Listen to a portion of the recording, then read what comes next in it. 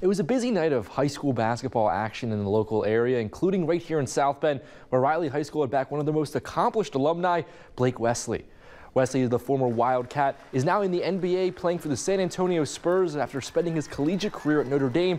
And he won a Class 4A sectional title at Riley and was named the Indiana All-Star team as they've now retired his jersey. And now he's giving back to the players at his alma mater. So little do you know, I talk to a lot of the players each and every day. I text them uh, motivation, how they can become better, because they look up to me. Uh, I was once in this locker room, once in that locker room. So I was once here as a Wildcat. They looked up to me. They came. I actually trained with a couple of them. So for me to come back, uh, give them advice, you saw, shook their hand, told them, let's go, bring the energy. Uh, they like that, and they're gonna bring the energy tonight. All right, now let's get to the actual game action. Packed house with a full student section tonight. And early on, Adams was hitting their outside shots from deep. KJ Johnson getting the friendly roll on that triple. Yeah, look at that bounce. And then a little bit later, back down the floor, driving baseline, it's Jarvis Tolbert. Huge night for him. Game high 22 points as the Eagles, they go in front off of that shot. But then it's Riley in the corner. Brighton Williams gets it, and he drains the three-pointer. So Riley, they're back in front. And they get some more shots from deep a little bit later. Aiden Kent, he lets it fly. 13 points for him in this game. Adams, they're able to stick around in this one. Johnston a little bit later, far side, another triple. He had three of those tonight.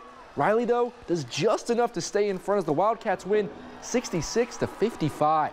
All right, let's go over to Clay where they honored some alumni tonight as it was the last home basketball game in school history. All right, first quarter and the Colonials are up by double figures and they're adding to it. Brad Hicks, the tough drive and finish, 17 points tonight for him. Cougars trying to just, you know, keep stay around in this. Brody Wigington, one of his two triples tonight. That one's good. But Clay, well, they wanted to close out their gym in style. Tyrese Jones takes over, runner there off the backboard. He's heating up. Then a little bit later at the top of the key, creates separation. What a move. Hits the three right in the defender's face. And then a little bit later, turning defense to offense with a steal. Game high 25 points as Clay, they win their final home game ever, 70 to 38. All right, let's go out to Brandywine where a packed house and an even more packed student section for a battle of two top five teams in Michigan. First quarter, Tigers get out to an early lead as Josiah King. Turnaround jumper for him is good. That rolls in, and he just keeps on scoring. Another J falls for him. Looks like the same move right there. Benton Harbor, they're in front.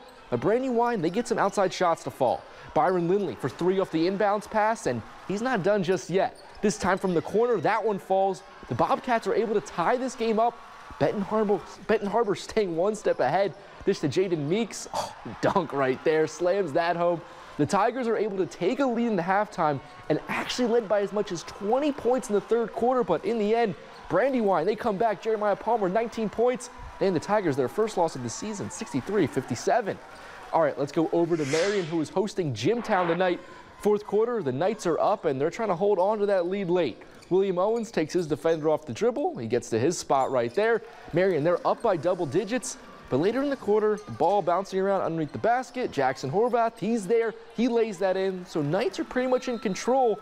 Jimtown, though, they're trying to catch up here. And to do that, they need to make some three-pointers. And there's Brandon King. Well, he, he lets that one go.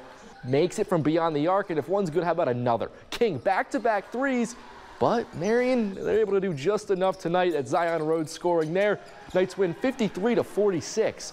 All right, let's get out to some games that we couldn't get to in person tonight. Starting in the NIC, Bremen got the double-digit win over John Glenn, 49 to 36. And then oh, let's go over to Penn, who hung on for a close 55 to 49 win over Elkhart. Maverick Brown led the Kingsmen 19 points tonight.